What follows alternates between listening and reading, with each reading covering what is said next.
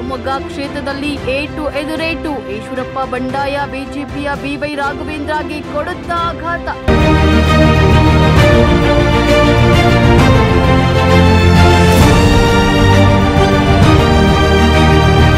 ಬಂಗಾರಪ್ಪ ಕುಡಿ ಕಾಂಗ್ರೆಸ್ನ ಗೀತಾ ಶಿವರಾಜ್ ಕುಮಾರ್ ಕೆಡವುತ್ತಾರ? ಬಿಜೆಪಿ ಭದ್ರಕೋಟೆ.